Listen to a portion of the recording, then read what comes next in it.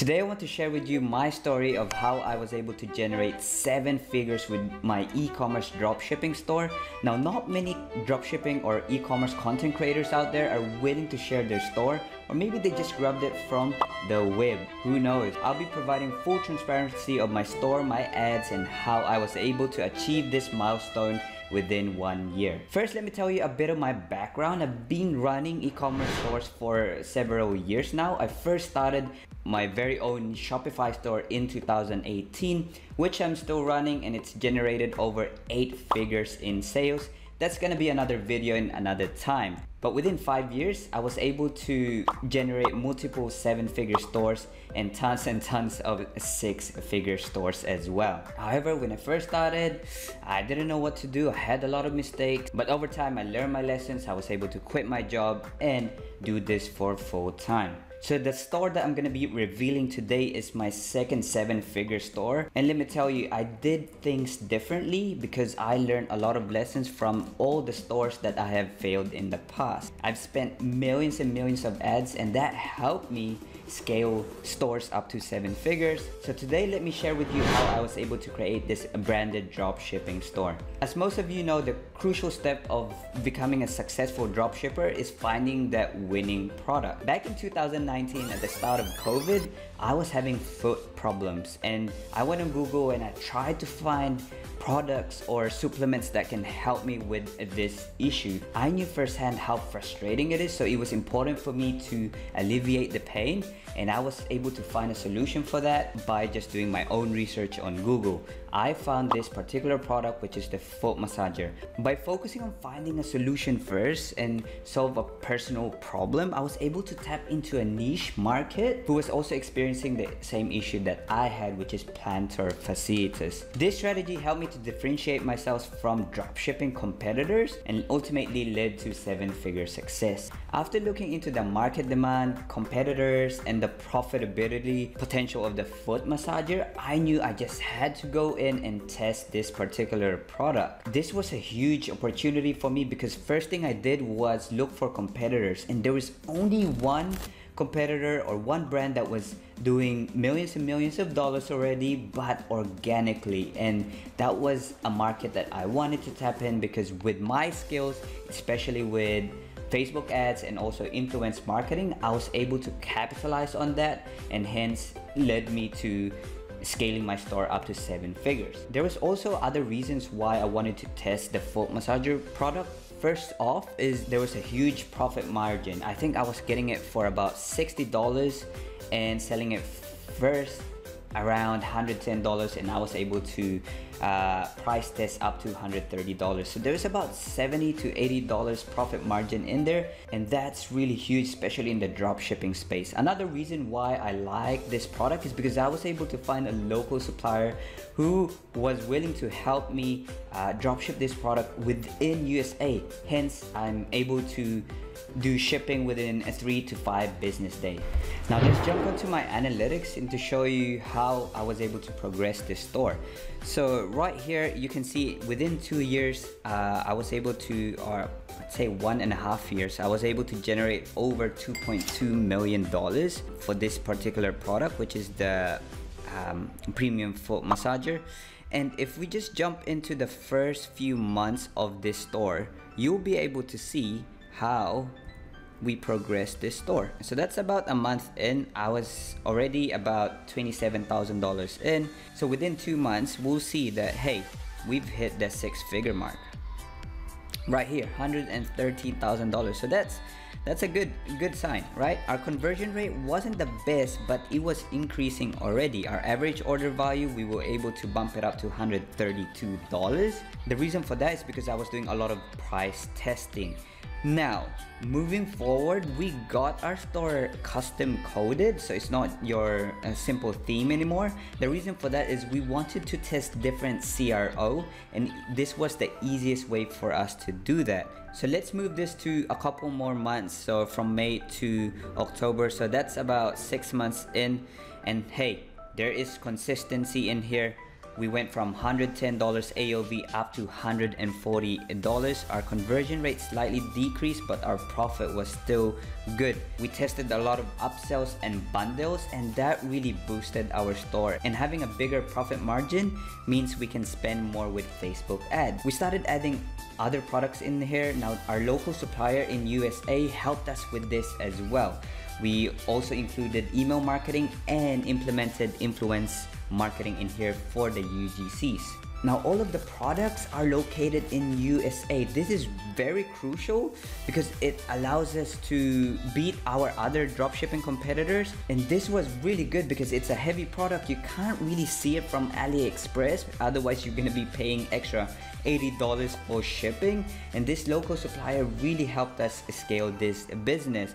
I wasn't worried about dropshippers out there copying my product because I know for a fact that they won't be able to create a branded e-commerce store like this if they don't have access to local suppliers. So that's a good lesson for you guys to learn. So moving on to the advertising. So we created about three ad accounts in here. I'll be showing you guys one of the ad accounts that we uh, advertised on. This is already disabled actually, but I will expand on that later on. So if we just jump on to our ad account in here. We spent about $537,000 in this um, ad account in here. On other ad accounts we spent a total of about 300,000 so if you join that together uh, our total ad spend was around um, $800,000 and the total sales was around 2.2 million dollars in revenue. So let me tell you the structure of this particular ad account in here. We simplified it into four components. So the four campaigns that we did was a testing campaign a scaling campaign a manual bid hyper targeting campaign and finally retargeting campaign. Now the third one i'll explain to you right now so that one is the manual bid, which I already done a video on. This is usually our highest campaign spending.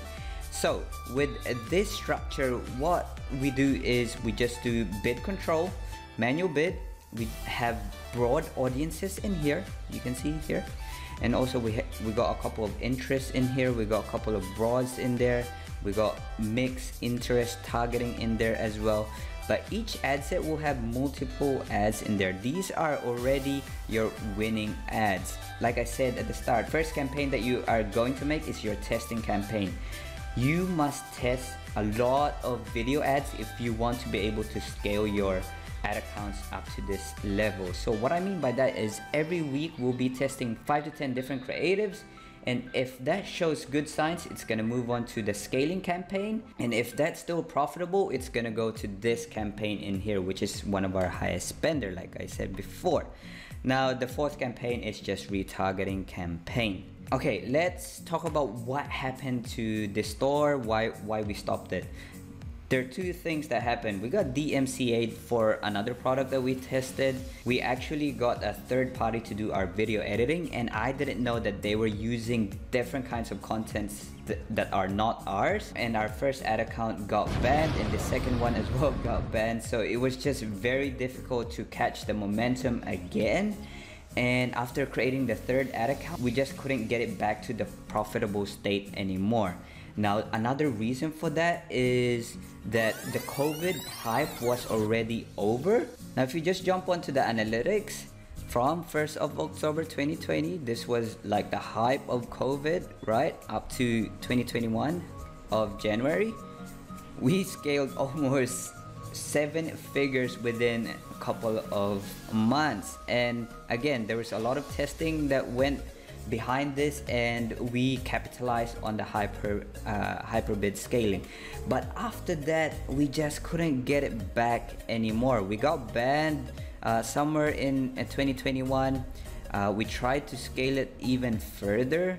Um, actually our biggest month was around uh, Feb and we did about 500k in that month. So we got banned around this time. So May and then June. June we just you know didn't have an extra ad account. We are able to get a new one in july but again we tested and just couldn't get it back to where it was before.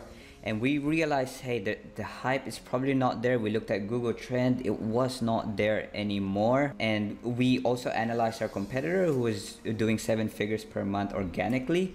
They weren't selling as much anymore as well. So we kind of just had to stop it. We didn't want to take risks anymore uh, because we were just losing money after uh, the end of 2021 now, what are the lessons that we learned from this store? The first one, which is at the top of the list, is finding a local supplier.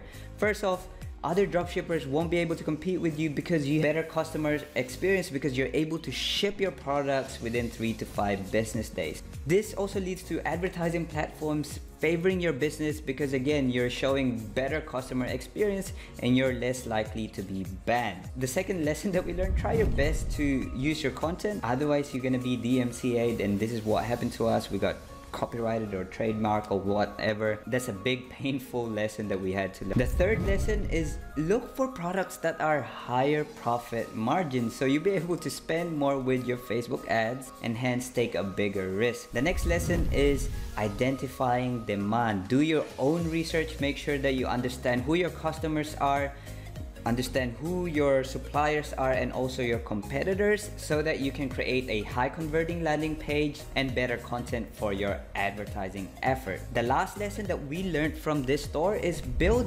SOPs for your team. So for our particular store, we were about four to five people within the team. Someone was doing customer service, someone was doing uh, ads for us, and also uh, someone was doing media buying, and finally email marketing make sure you build SOPs so that you can simplify this and you can you as yourself can focus on the growth of the business. So those are the big lessons that I learned from this. I hope you guys learned a few things from this video. If you did, make sure to hit that like button and subscribe if you haven't done so. I'll see you guys soon.